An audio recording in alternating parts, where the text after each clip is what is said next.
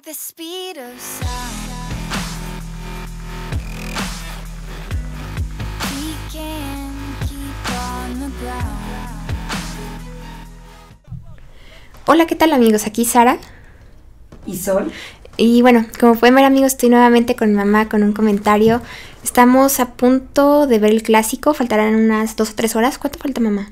Unas son las dos, es a las cinco. Tres pero- horas. Tres horas, casi tres horas. Y bueno, quiero preguntarte en este día, o hacerte una pequeña entrevista sobre el fútbol, cómo te empezó a gustar y todo, para terminar un poco de, con el tema del clásico. Entonces, quiero preguntarte cómo fue que te gustó el fútbol o cómo iniciaste en todo esto. Cuando yo me vine a vivir a Guadalajara, de Sonora, este, empecé a ver los partidos Ajá. y empezó a gustarme el, el juego del fútbol y me empecé a aficionar aquí en Guadalajara, los equipos que hay y pues sinceramente a mí me gustó mucho el América. Pero y lo aficioné al América yo. aunque el América no fuera de Guadalajara. No fuera de Guadalajara porque yo lo seguía a veces hasta juegos al Distrito Federal me iba cuando estaban buenos. ¿En serio? Sí. ¿Quieres contarnos alguna experiencia sobre eso de, de que te fuiste o algo? No, pues que me fui a ver a la, a la América México fueron muchas veces. Pero pues experiencia en el fútbol que ya me apasionó más, apasionamiento más, fue cuando el Mundial del 70. Ah, ¿a poco Porque fuiste yo vine, al yo vine a Guadalajara en el 66, Ajá. 68, ya, seten- ya, ya tenía mucho para el fútbol. Ah, bueno, y entonces eso del mundial aquí te tocó el Mundial de México 70, 1970. Sí, me tocó Brasil, nos tocó Brasil aquí. Y aquí cerca de la casa estaban los brasileños en una suite caribe, ahí los conocimos, ahí los vimos. Entonces, que, a ver, cuéntanos cuál ha sido una de tus mejores experiencias eh, o cuál fue tu mejor experiencia en el Mundial de Brasil 70, de México 70. Ah, pues cuando vi todos los juegos de Brasil fueron una experiencia maravillosa. ¿Viste a Pelé? Vi a Pelé, a Gerson, a Rivelino, a Carlos Alberto, a Yair, a No, pues ni... ni- Tostao. No, todas las, esas eran el Brasil de las estrellas del Brasil.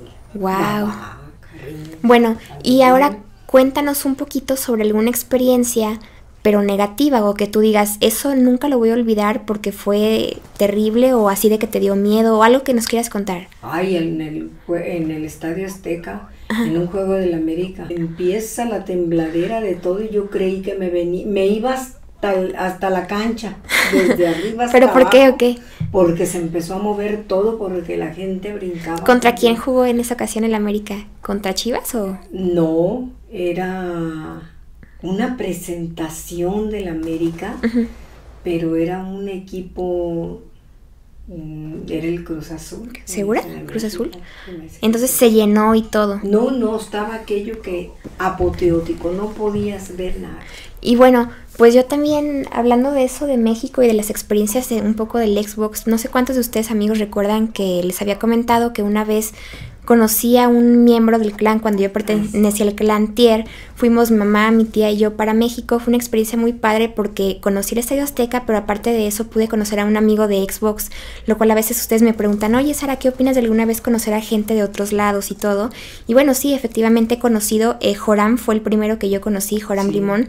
Y lo padre de esto es que todavía tenemos bonita relación. Incluso él por Facebook me manda mensajes y, oye Sara, salúdame a tu mamá. O incluso mi mamá y mis tías, salúdame a Joram. Y pues fue muy padre, ¿no? También ahí fue hasta arriba, estuvimos Sí, hasta arriba. también. Nos dio mucho miedo. Yo estaba que, híjole, no me animaba. Qué bárbaro, mis respetos. Ni quiere uno voltear hacia abajo porque siente que se va a ir. Exacto, esa vez fue la, prim- o sea, la primera ocasión que yo estuve allá arriba. Siempre aquí en, las, de- en el Jalisco, pues siempre abajo o a la mitad, pero nunca hasta arriba. Y bueno, ahora ya pasando un poquito al tema del clásico, ¿qué, eh, ¿qué opinas del América, de cómo viene jugando? El América viene jugando bien, pero a veces se confía mucho. Si el América juega como sabe jugar y jugar los 90 minutos o 95 que dé el árbitro, el América puede ganar. Fíjate, y gana. Fíjate que estoy de acuerdo con eso. Lo único malo es que siempre pasa de que cuando las Chivas vienen mal, mal, mal, mal, mal, juega contra el América y es así de que se enciende, se pone las pilas y le llega a ganar. Una vez me, me pasó, hace que serán como cuatro años de esto. Pero yo digo que como tú, estoy de acuerdo, completamente de acuerdo, de que si el América se pone las pilas, si no se confía, si sigue jugando como lo viene haciendo, puede ganar y es más hasta por, no sé, tres o cuatro goles.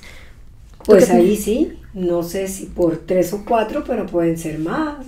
Pero lo que sí sé es que las Chivas, cuando son 90 minutos, pueden salvar la temporada ganándole al América. Sí, es así de que la gente está toda triste porque sí. vienen jugando mal, pero un, un triunfo Pero- contra el América, que es su super rival, y wow. Esto es un juego de 90 minutos apasionado, hasta que silbe el árbitro. Pero si, las chi- si el América no se confía y le juega a las Chivas hasta que termine el partido, puede ganar.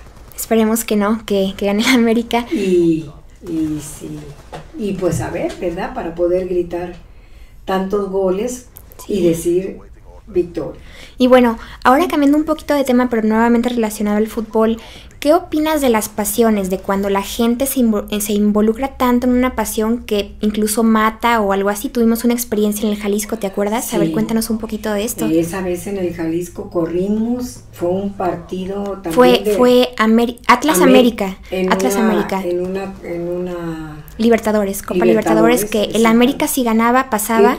¿Qué, qué forma de no poder ver y disfrutar un partido, sino de echarlo a perder con violencia tan exagerada, porque a- nos tocó ver cómo al pobre hombre, en el caso de las carnitas, ahí fueron y lo sentaron. Mm, Eso era una corredera espantosa y todo. Sí. No, nosotros ya viste cómo A mí lo que se me quedó, cómo- lo que más se me quedó de esa vez, esa vez fue la primera vez que habíamos asistido a un estadio aquí en, en Guadalajara, bueno, de hecho en, en todos lados, ¿no? Era la primera vez. eh.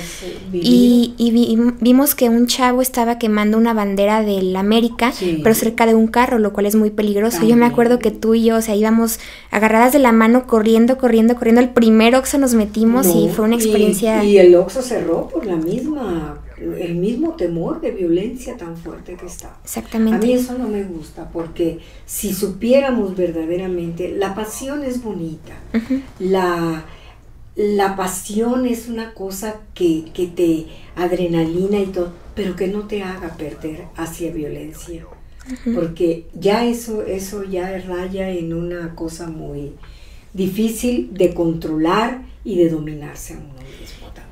Y bueno, ahora me gustaría amigos que ustedes nos comentaran aquí abajo si han vivido algo similar, si ustedes han ido al estadio, si les ha tocado ver alguna situación de, de violencia o bien que ustedes la hayan hecho, porque yo debo decirles que una vez sí me apasioné tanto, era un clásico precisamente, era una América Chivas, me acuerdo perfectamente, fue hace 10 años o poco Sí. menos, ¿verdad? El América iba perdiendo, le empató a Chivas y entonces en, en- en la época de Omar Bravo, cuando jugaba con las Chivas, entonces el árbitro le dio por bueno un gol al finalizar el partido en los casi 90 minutos y era fuera de lugar. Yo me encendí tanto que mi mamá iba entrando y hasta le dije una grosería, entonces te no sé si te acuerdas de esa vez, mamá. Sí, ¿Sí? ¿qué te dije? No, eso no se vale porque el respeto es el respeto, el partido es el partido y si lo el árbitro lo juzga así ya no podemos hacer Estaba nada. totalmente enfurecida Estaba por eso. desquiciada y eso no se puede. Ahí es donde no se disfruta. Exactamente. Y a, Y un, fue a un equipo hay que seguirlo y disfrutarlo, gozarlo, como el partido que, el, que estaba el campeonato pasado. Ay, no, no, no, no, no, no, qué bárbaro. Lo estaba viviendo y disfrutando. Sí, es más, amigos, a eso que se refiere mi mamá es a un, a un video de YouTube que yo le enseñé de un chavo que fue al estadio en la final de América Cruz Azul, cuando Sí. fue en el Milagro en el Azteca el 26 de mayo del 2013. Entonces este chavo estaba narrándolo, pero se le veía, o sea, sientes la pasión cuando lo está narrando. Y, y es más, amigos, se los voy a dejar aquí abajo el, el link para que lo vayan a checar. Pero aquí a lo que voy es a dejarles eso, que no se apasionen tanto, porque yo ese día que le contesté mal a mi mamá, me di cuenta que no, que no se vale eso, que hay que ser eh, respetuosas contra- con el rival y no meternos tan en pasiones, como, como les decía mi mamá, de que, ok, lo disfrutamos, nos emocionamos, pero siempre con respeto hacia los demás. Sí. La vida es algo muy importante. Ujú, Aquella vez Y que... todos, ser- todos los que van al partido, niños, hombres, mujeres, todos necesitamos disfrutar para sacar todo lo que traemos, pero no se vale que golpeen Exacto. o que hagan todas esas cosas. Y muchas veces también de que la familia, oye mamá, oye papá, vamos al No. estadio. No, no, no, porque se pone mal. Entonces, si nosotros mismos comenzamos con una cadena de portarnos bien y ser respetuosos y todo, probablemente en generaciones que vengan Vuelva a ser el fútbol de como antes. Sí, sí. Y, y pues bueno amigos, eh, se acabó el video de hoy, espero que les haya gustado. Por lo pronto nos despedimos. Dejen también aquí abajo sus pronósticos para el clásico de hoy a las 5 de América contra Chivas. Y bueno, ya me despido, tu mamá. Solo sé que gane el América. Esperemos. No sé cuántos. Ok, Pero va a ganar el América. primeramente Dios que y sí. que Dios les bendiga a todos y muchas gracias. Nos vemos. Nos vemos.